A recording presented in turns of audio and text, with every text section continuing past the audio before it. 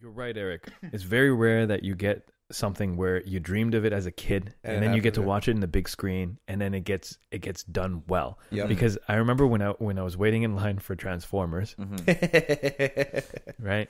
Close your ears, Shia. You're you're, you're like th- th- this is it, right? Yeah. If there's if there's one TV show that I watched so much of, Mhm. it was Transformers because it was Transformers and Beast Wars, Beasties, Oh, all yes. that, right? Yeah. I had the action figures. That was really well. truly like that was my jam, Mhm. right? Yep. The the that and Spider Man, Okay. um, and and and like when you watch it, I mean, like it's great.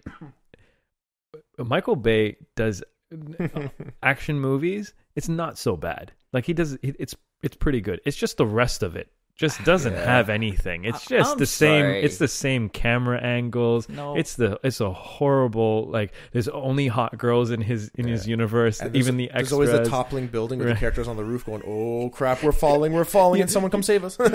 You have a responsibility though when you're given a project that has history, and if, even if it's just a cartoon history from the '90s Yeah. Agreed. or whatever that case might be. It could be Star Wars or it could be Ninja Turtles. Mm-hmm. Yeah. You have a responsibility to Why like. do they keep giving him stuff? why stuff? did they keep giving him stuff? Why do they give him like?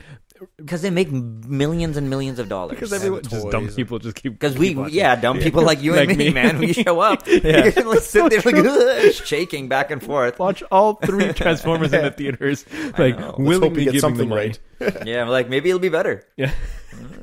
Like, well, you know, it's like good. Optimus Prime gets caught in cables. Yeah. You don't see him for half of the movie. Freaking cables. Oh, That's it. He's like, oh, I Yeah. can't get out. Shoot!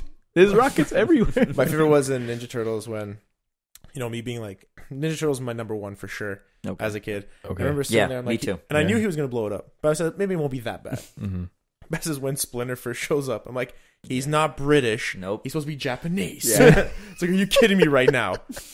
Like what? That was the easiest job you had was to find a Japanese accent. Yeah. you get a British. You you can just use the regular the the regular guy who does the Japanese Yeah. accents, which is the guy from Inception. Just use Oh, the guy man. from Shredder, the who plays Shredder, to do the accent. I'm sure he has a No one will notice. just No one will notice. like, let him Just do do- it. just do it.